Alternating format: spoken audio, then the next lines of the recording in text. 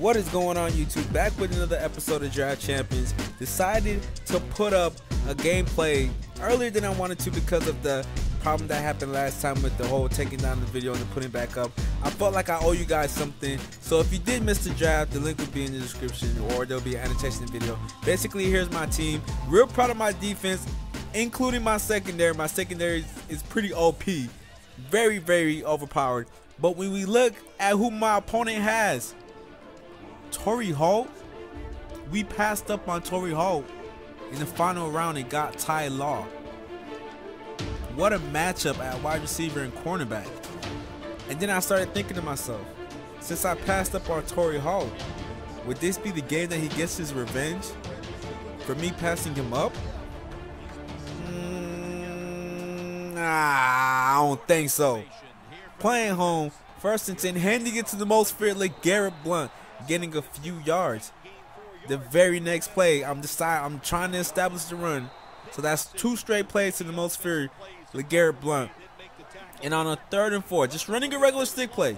My man is wide open, but he decides not to go to work. I guess he decides not to do his job. Just completely flats out, throw, like drops the pass. Like completely drops it. But on first and 10, my opponent's playing aggressive. And I know this play very well. He threw it straight into my user picks.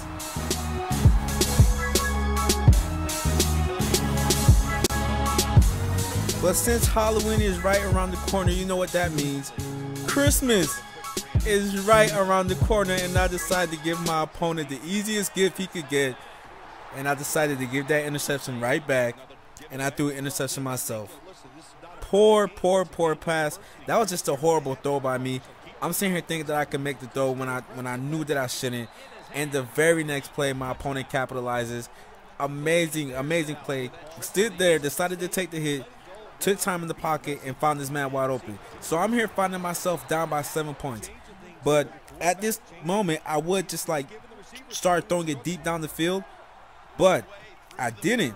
I was I decided to play smart. I decided to go to my number one, probably the best player on the field right now, LeGarrette Blount. Decided to go to him because I just know how hard it is to bring LeGarrette Blount down. Right there, just throwing it off to Luke Wilson. And on the second and one, peep this play out. Second and one. I'm sitting here thinking LeGarrette Blount is stuffed. I thought he was going to go down right there, but he doesn't. Here I'm thinking he's about to go down again, but he still stays up and gets brought down at the 21 yard line. An amazing run play by LeGarrette Blount. Great individual effort. First and 10, the very next play, trying to drop back, trying to find somebody. I can't find anybody. I guess my opponent was running QB contain, but on a second and 16, firing it to Slater, who gets brought down at the three yard line. And on the second and goal, why not just punch it in with LeGarrette Blount, who somehow, someway finds his way into the end zone, ties up the game at 7-7. So my opponent gets the ball back, and on the second and seven, he's looking to put points on the board, try to regain back the lead. Finds his man, but cannot hold on to the pass.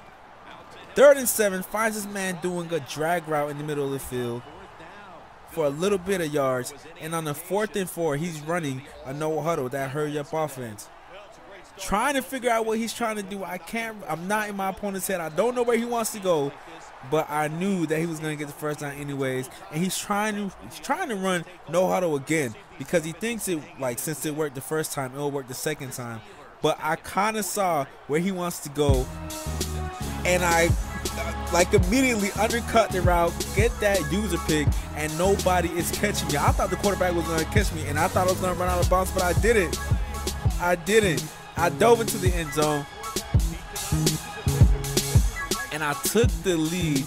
Now the game is 14 to 7. Now all the pressure is on my opponent as all the momentum swung my way, and he's trying to go deep but nothing is working. I'm on pass commit all day, every day. We bring him down in the backfield, and now it is a fourth and 20. Fourth and 20 for my opponent. The savageness, this savageness is real. Stepping back, trying to find this man, But that is Reshad Jones who jumps the route. And after that play, my opponent became super, super salty as we're going to hit the pause button. And we're going to wait a while. Your peer has quit the game. Just a quick upload to apologize for what happened yesterday. But if you enjoyed the video, give the video a like and also subscribe to the channel. I'm out of here.